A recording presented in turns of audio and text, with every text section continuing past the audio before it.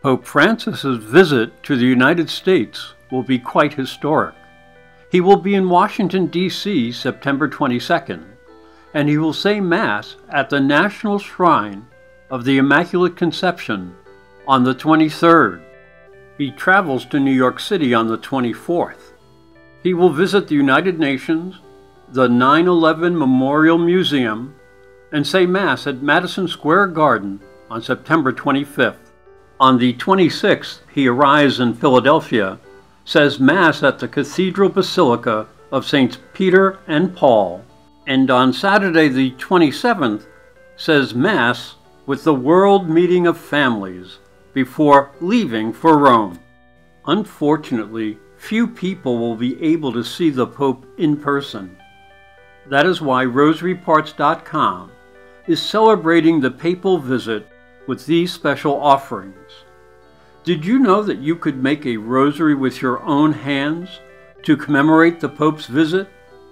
It's an easy and fun project with real meaning and purpose. And this is the perfect rosary kit to make. It features the Good Shepherd cross and an enameled center of Pope Francis. They are joined together with mahogany wood beads, capturing the simple humility of this special Pope. Our next kit is called the Rosary for the Poor, as Pope Francis often champions the cause of the poor. And these kits can be engraved to commemorate the Pope's visit. Here are two different centerpieces that feature an enameled picture of the Pope. And here is the large Good Shepherd cross that can be worn on a neck chain or you could order this enameled medal. Pope Francis has a special devotion to Our Lady, the undoer of knots, shown here in this centerpiece, and his name, as well as his actions, reminds us of the great saint, St. Francis of Assisi.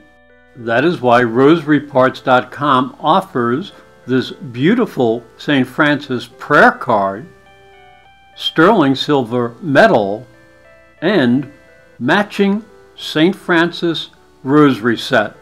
This sterling silver set features the San Damiano crucifix and a round St. Francis centerpiece. So if you'd like to commemorate Pope Francis's visit to the United States, come to rosaryparts.com.